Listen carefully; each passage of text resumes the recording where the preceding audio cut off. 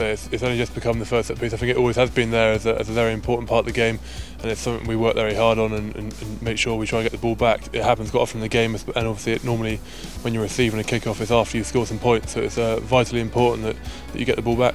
It's vital that you know if you've scored points, to make sure you get out of your half and uh, reapply the pressure on the opposition. When you've had points scored against you, it's vital that you you put pressure on the, the opposing side you get points or you score a try or you kick a goal, you you come back and, and you get kicked off. You have to get that right. You can't you can't give the, the other team the ascendancy. You've got to make sure that you you turn a positive into another positive, and, that's the way you build momentum in a game. And uh, you know that's that's why restarts have become so important. And you know the amount of work that the, the forwards especially, and uh, you know it's an, it's an unbelievable skill to to figure out where a ball's going and get a man up that far in the air to catch it. I, I know I couldn't do it, um, but yeah, it's, it's, it's drilled massively in our team. The way the game is now is quite often very tight, so so play, playing in the right areas of the, the field is extremely important. And and uh, we work very hard on sort of exits, getting out of our own 22 and getting out of our own half and, and things like that. And, and that's obviously what, where the restart really comes into it. If you don't secure your ball there and you lose the ball there, it's, it's quite easy to, to be stuck in your half for quite a while after that. Obviously, if you conceded, you want to get you want to get back on track as soon as you can, and uh, you know, the restart's an opportunity to rather get the ball back or get some pressure on.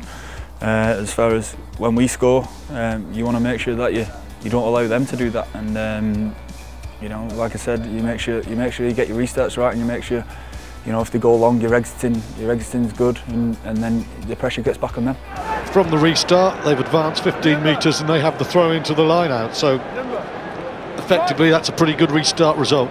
The, the stats that have been shown is, is a lot of tries are being scored off off um, kick returns. So what you do is you go and you pressurise the opposition. They kick badly then it lands in the hands of, of your, your Fodens and your Browns and those sort of guys who can can really open up defences. So it's something we obviously prepare um, a hell of a lot, um, but also just making sure that all the players understand it, because um, you know, team under pressure, um, you know, points points come with that we have a couple of unit sessions a week, uh, and in that units we'll cover uh, line out scrums and restarts. So, so we'll get a fair bit of work in there. There's a, a lot that goes into that. Is sorting out obviously um, different people lift, lift, you all the time, and there's obviously different jumpers in different parts of the pitch. And you also look at what the opposition do, um, whereabouts whereabouts they are likely to kick, um, so we can try and accommodate that. What's your specific role? You often claim a few. What's your role out on the pitch? Uh, at, at, the moment for England, I'm normally in, in the wider channel by the touchline.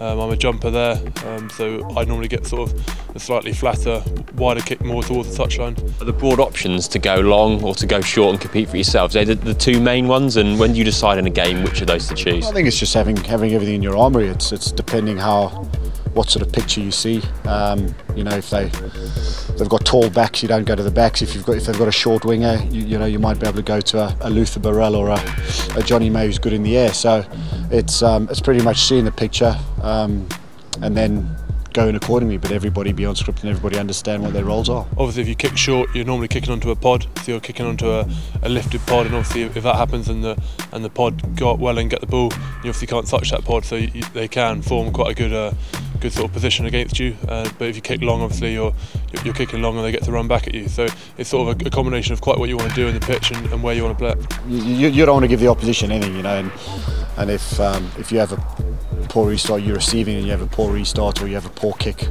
um, you know, it puts you on the back foot straight away. So it's making sure that you turn that pressure into into points and, and um, you make sure you get out of your half. How important is that first one in the game as well? Obviously setting the tone for, for the team. How important do you think he's getting that first one right?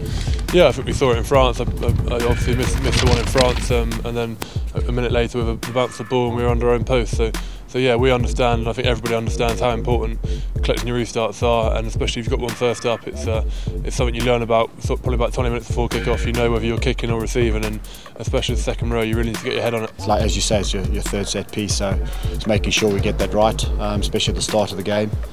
Uh, making sure we, we take the pressure off ourselves if we're receiving. So um, yeah, we spend a fair time on it.